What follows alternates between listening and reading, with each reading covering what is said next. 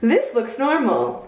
This doesn't. I became an amputee about a month and a half ago, and I'd love to tell you the story of how that actually came to be, but it is 14 years in the making. Let's start at the beginning. Also, before I begin, let me note that there are pet rats running around in this room, so if you see them in the background, don't worry, my house is not infested. I loved horses from the time that I could remember. I was your classic uh, stereotypical girl who just wanted a pony for her birthday. Now, I was able to start horseback riding at a local barn when I was 12. This is Bridget, everybody. She may be joining us for the rest of the video and trying to steal my earrings. I told you before, Bridget, you can't do that. When I was 13, I got to go on a trail ride in this big open field. I'd always dreamed of doing this, and we took our horses, me with two of my friends, galloping. And it was the, honestly, probably the most amazing moment of my young 13 years on planet Earth until Georgia, the horse I was riding, tripped. I fell over her right shoulder and landed on my neck. There's uh, no reason that I should have shattered my ankle, but when I came to, because I'm pretty sure I blacked out for a moment, that is what happened. My ankle was immediately swollen and black and blue, and long story short, I ended up at the hospital they told me that it was a very unique break. My tibia had broken in half and uh, been shoved up an inch into my leg. Doctors thought it was a really cool break because they had never seen it before, and it's never a good thing when doctors are like, hey, come see this x-ray, we've never seen this before. And I had to wait a few days to have surgery because my ankle was too swollen. They did it, no big deal, it should have been done. But two months later, got an x-ray, found out that it was healing wrong, they had to break my ankle again. I've always been a really active person. I um, participated in martial arts and swimming and hiking and all different kinds of things, but just lived in pain all the time and was taking painkillers painkillers all the time and uh, couldn't stand it. And this last year, it got to a point where I couldn't even walk. And that's not a life that I want to lead in pain all the time. Now, I was always told that when there was too much pain in my ankle from the fusion, we would replace it. And that, you know, if we had to replace it, we might have to replace it again. And that someday, way down the road, I might have to have an amputation, like at age, you know, 70.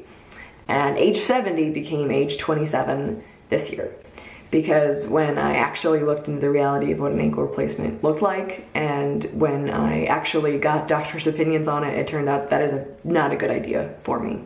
I'd still be living in pain, I'd have very limited mobility. The failure rate for ankle replacements is really high. I'd probably have to continue having surgeries and I couldn't do it anymore. I wanted to live life, embrace life, stop living from surgery to surgery and from more pain medication and more pain medication. And so I made the decision a couple months ago that we were going to go ahead and amputate because it was going to have to happen in a couple years anyways, whether or not we did the replacement first. And I didn't want to have to keep having surgeries and living in pain until that point anyways. I'm young, I'm otherwise healthy, I'm light.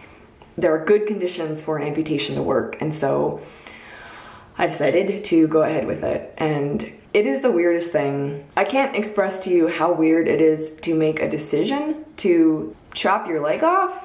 I am grateful that I've never had to wake up out of like a traumatic situation and be missing a limb, which is the situation for many people. Having to make the call that I am going to walk into a hospital, go under, and wake up without a limb is bizarre. It's just weird, guys but I decided that that was the best thing. I eventually had my family's support, um, though it was hard for them. And on October 11th, I walked into UC Health in Denver and got into that hospital bed and put on that hospital gown and waited for the anesthesiologist to come in and give me the good drugs. And my little rat is eating my books. what, what are you stealing? Okay. Rats are thieves. If you didn't know, they take glee in taking everything they can from you. This is just, this is one more thing in the line of many thefts. We're gonna have to have a conversation, Bridget. Bridget. Sorry about that brief but adorable interruption, guys. As I was saying, I waited for the anesthesiologists, I kissed my husband goodbye, I hugged my mom, and then I kind of laid there in semi panic, shock. I don't know. What are you supposed to feel when you're going into surgery to have your leg amputated? I didn't cry. Um, I kind of expected to. And the thing that I was scared of was waking up from that surgery and being like gripped by regret immediately, thinking like, holy hell, what have I done? Like, why did I do this? Why couldn't I have just continued to live in pain for the sake of having a leg? I'm gonna look different for the rest of my life. I'm 27 and I had my leg amputated. Like, why did this happen? I thought that that might be what I thought when I woke up, and it wasn't and I'm so grateful that, that it wasn't. I woke up and the nerve block didn't work. Uh, if you don't know what that is, they like kill all the nerves in your leg basically before surgery like this. And so I woke up feeling everything. I was crying and screaming in pain. And so they called my husband in to hold my hand as they got pain under control. But I remember thinking, even then, I am so glad I did this because I can finally work towards something. Like there's a light at the end of the tunnel instead of just working towards like more and more and more surgeries. And even though this is complicated, even though this is hard, even though this is really painful, there's hope. Like I might be able to run again someday. I, I can maybe walk my dogs again. I can go around the block with people, you know? So there's hope again, and that's super exciting and thrilling and amazing and keeps me going when things are painful and when phantom pain is bizarre and when people stare and it's odd and in all the weird parts. I still have never had a moment of regret.